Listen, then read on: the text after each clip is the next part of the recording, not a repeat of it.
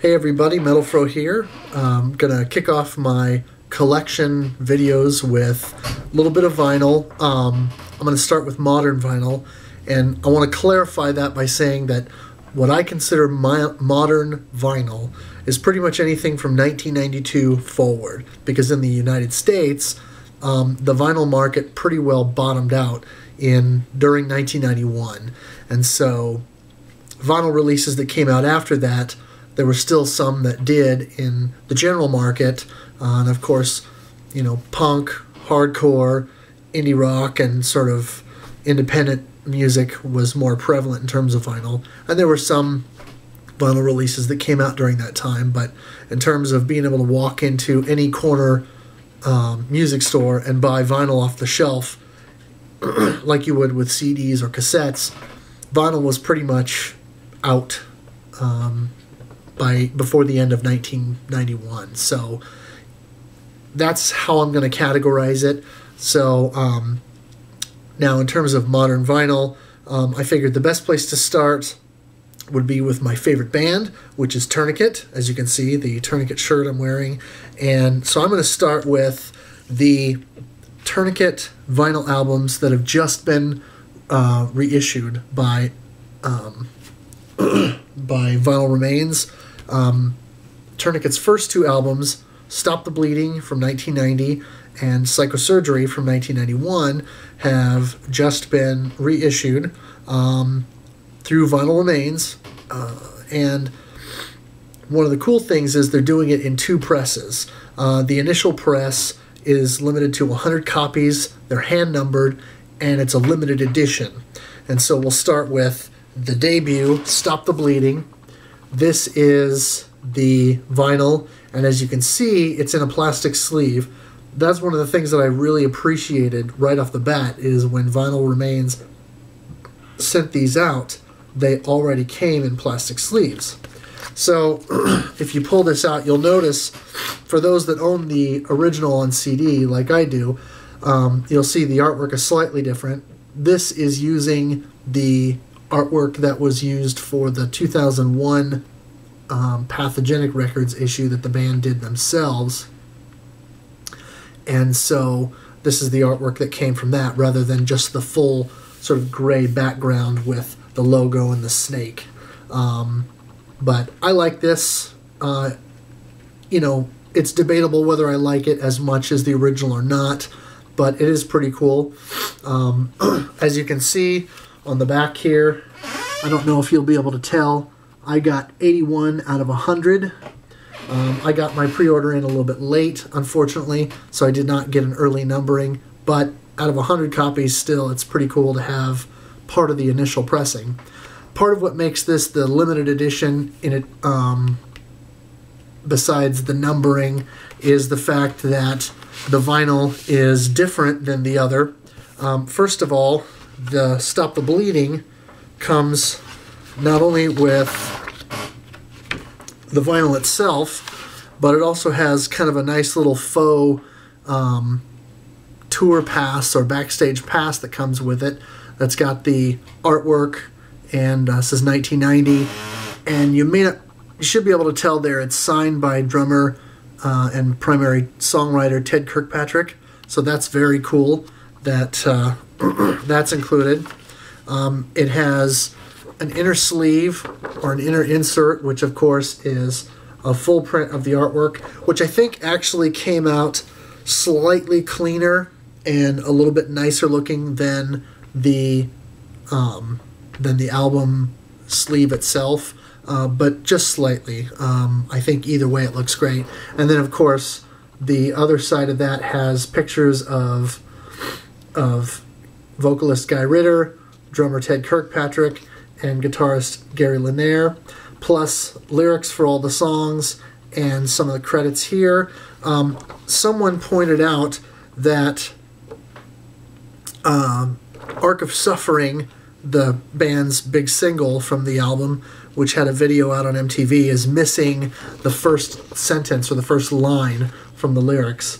Uh, and so I noticed that after they mentioned that. I, I think I had noticed that before, but it didn't really, you know, register.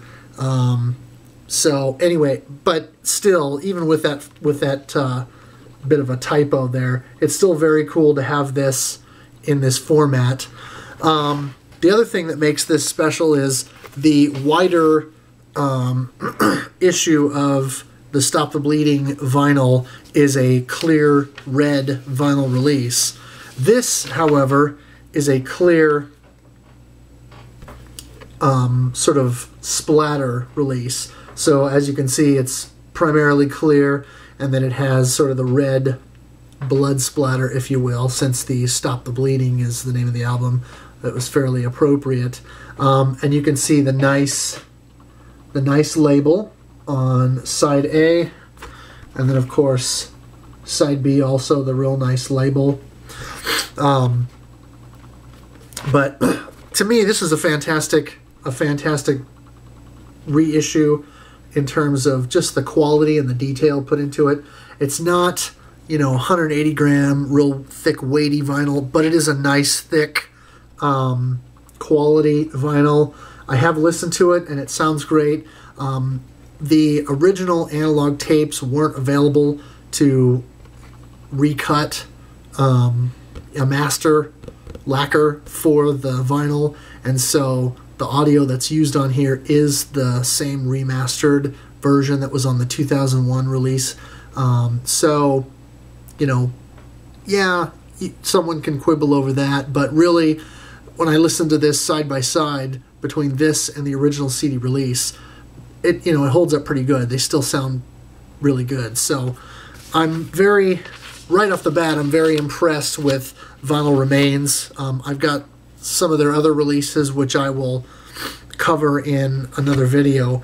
But right off the bat, I really like what they're doing, and I really like the attention to detail and the quality and you know time that went into these tourniquet reissues to get these done because as i say tourniquet is really my favorite band fantastic um, technical and progressive thrash metal band and these albums you know i've been spinning these on cd for years um, probably the last 17 18 years.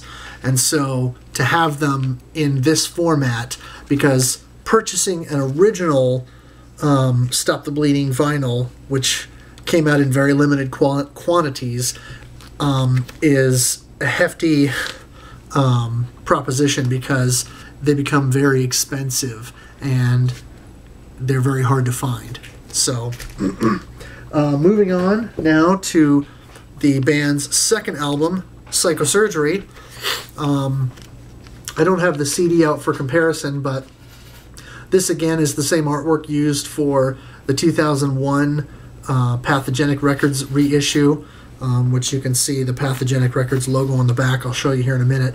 But Psycho Surgery, where it shows here, is different in terms of the typography and the graphics used for that than on the original.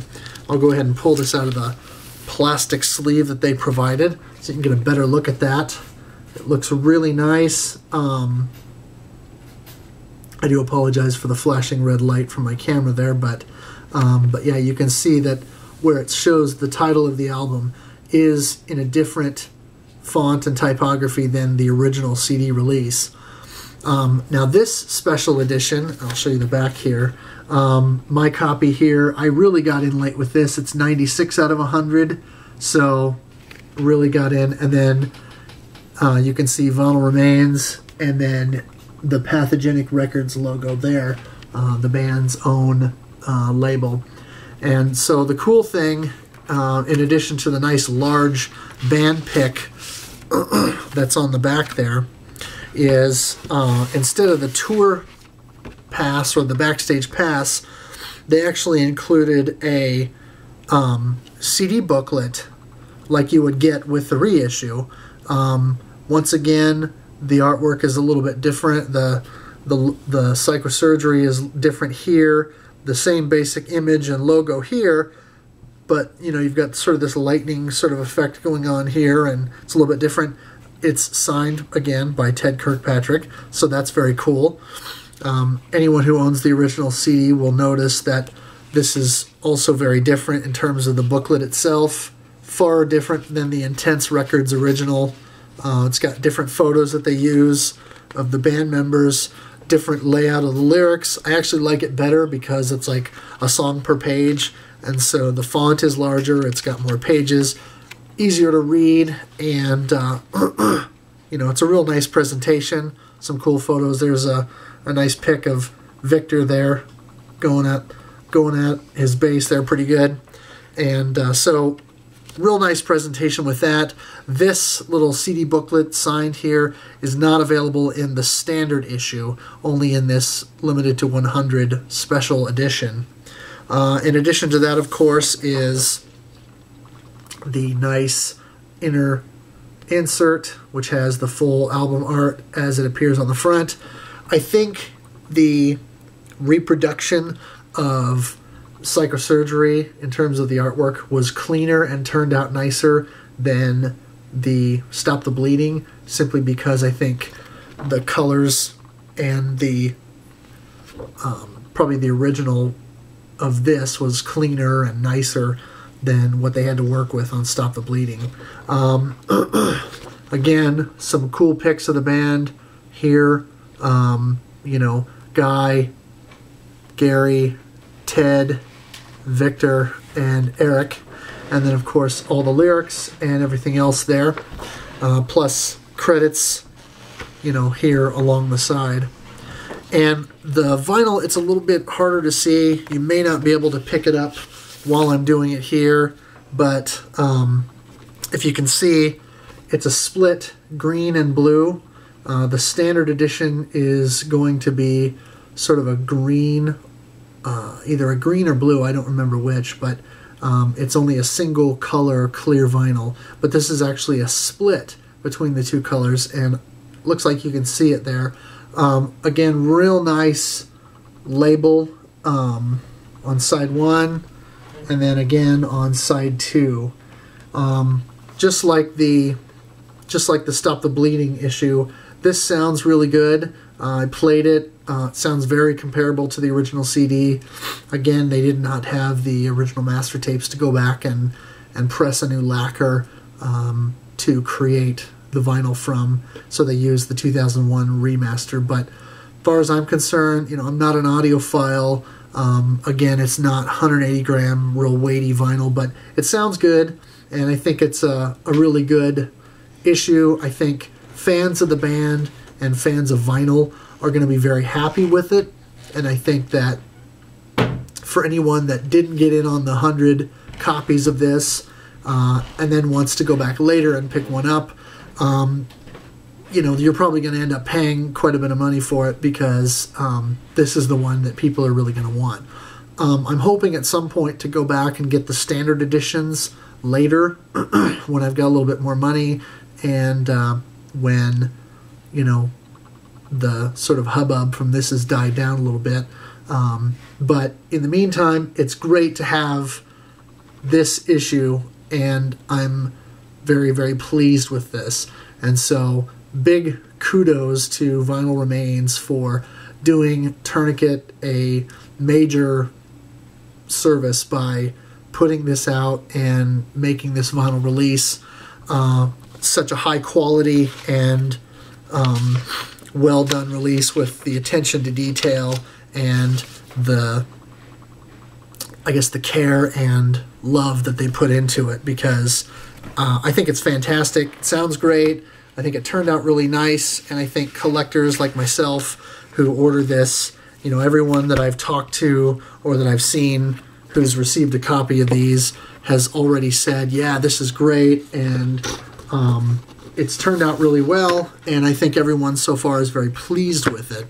Um, and I myself am very pleased with it, and am glad that I went ahead and and uh, pre-ordered these special editions.